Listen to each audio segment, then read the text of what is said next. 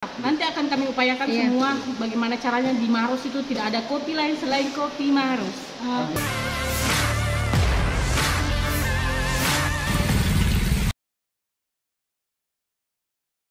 Kopi Bentenge Malawa kini sukses menembus pasar ekspor Tunisia. Untuk ekspor perdana ada 5 ton yang siap dikirim. Wakil Bupati Maros, Suhartina Bohari mengatakan, pihaknya telah melakukan penandatanganan Memorandum of Understanding, MOU, daerah pihak KBRI Indonesia di Tunisia. Politisi Golkar itu juga mengatakan jika kopi Malawa merupakan kopi Indonesia yang berhasil menembus pasar ekspor Tunisia setelah 15 tahun. Hari ini kita eh, capai satu tujuan besar dalam eh, perekonomian Pemda Maros yaitu eh, ekspor kopi Bentenge Maros ke dunia internasional. Kami tadi melakukan penandatanganan MOU antara pemerintah Kabupaten Maros melalui Javanero untuk mengekspor kopi Bentenge Malawa ke Tunisia. Dengan masuknya kopi Malawa ke Tunisia, Suhartina berharap semua pihak dapat memperbaiki kualitas kopi Malawa.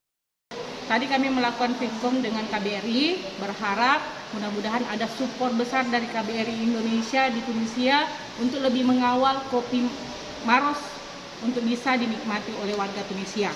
Dan alhamdulillah tadi juga pihak KBRI Tunisia sangat merespon dengan baik karena info dari mereka terakhir kopi dari Indonesia masuk di Tunisia itu 2007. Maros pecah telur dan mudah-mudahan kami tadi meminta paling tidak di Tunisia itu hanya ada kopi Maros di sana. Kopi dari Indonesia lain tidak boleh ada.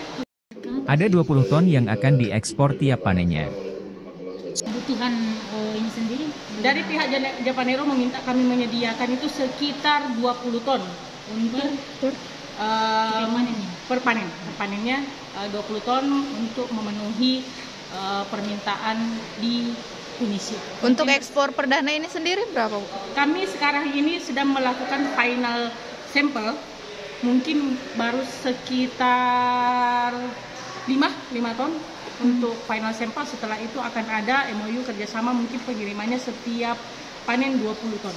Suhartina bahkan mengatakan setiap warkop di Maros wajib menyajikan kopi Malawa. Tak hanya itu, bahkan setiap organisasi perangkat daerah menyiapkan kopi Malawa di kantor masing-masing. Beberapa kali pemerintah daerah telah melakukan pelatihan meracik kopi Malawa bagi barista. Hal itu dilakukan agar pemasaran kopi Malawa ini cepat dikenal oleh masyarakat. Suhartina dalam beberapa waktu belakangan memang memberi perhatian lebih pada komoditas tersebut. Dia bolak-balik dari Malawa. Eh, paling tidak kami berusaha bagaimana caranya Malawa dan masyarakat Malawa itu betul-betul fokus terhadap kopinya, memperbaiki memperbaiki kualitasnya dan yang paling tidak juga pasar lokal juga diharapkan semua warkop di Maros itu sudah wajib menggunakan kopi Malawa untuk warkop-warkop. di dinas-dinas sendiri bu bagaimana Hah? di dinas-dinas sendiri biasa Akan, insya Allah. Nanti akan kami upayakan Iya. semua bagaimana caranya di Maros itu tidak ada kopi lain selain kopi Maros. Tenang saja. kan biasanya itu kalau yang begini tuh awalnya yang setelah Iya. itu kontinuitasnya itu kurang ini misalnya semakin dari akhirnya tidak ada nah Oh. itu menjaga itu bagaimana Kami melak- tetap melakukan perbaikan-perbaikan. Saya pun tetap melakukan cek eh, cek terhadap eh, dinas eh, pertanian dan Kopundak terhadap perkembangan kopi. Selama eh, mudah-mudahan insya Allah selama bisa di cover di sini, saya rasa tugas dan tanggung jawab yang saya berikan kepada Kopundak dan pertanian untuk tetap memperhatikan kopi ini bisa tetap continue. tetap dikawal ya Saya akan tetap mengawal. persiapannya dari Pemda kelihatannya untuk eh, apa namanya hmm, Mister Dadanya belum